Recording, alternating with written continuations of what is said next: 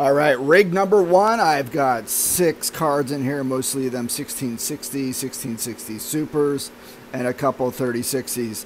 A melting pot of GPUs, right? T Rex Miner said uh, one was out of action. It was complaining, one crashed.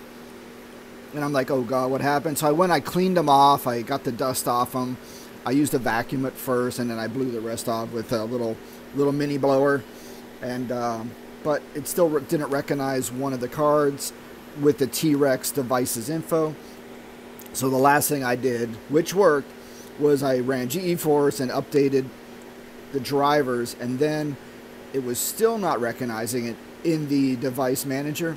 I right-clicked on that failed device at GPU, and I said install this one directly from local install and it installed it right to that card and it worked and now T-Rex recognizes the card again and I'm ready to spin back up and see if it sticks. So if in doubt, update your driver via device manager.